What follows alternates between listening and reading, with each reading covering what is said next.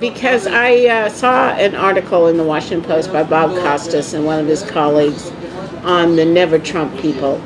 And it was amusing because it was split between people who thought that Kasich was their dream candidate and uh, people looking for someone like Tom Coburn or others who might represent the social conservative dissent from Trump.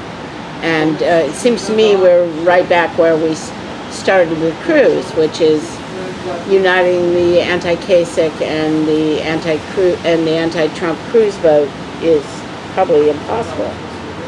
Well, I think that Trump represents a populist vision for the party that has a lot of problems inherent with it, uh, including uh, difficulty with the way that he goes about framing issues. Uh, I do think Framing.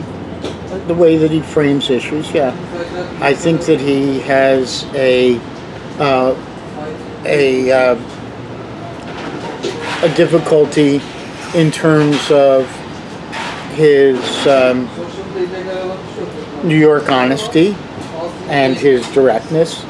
But I, I think the real the real problem is that um, there is a um, there's been an acceptance of a kind of um, Chamber of Commerce view of economics and also of social issues that the Kasich people um, have accepted, and a Chamber of Commerce view of economics and a fight against the Chamber of Commerce that social conservatives have adopted.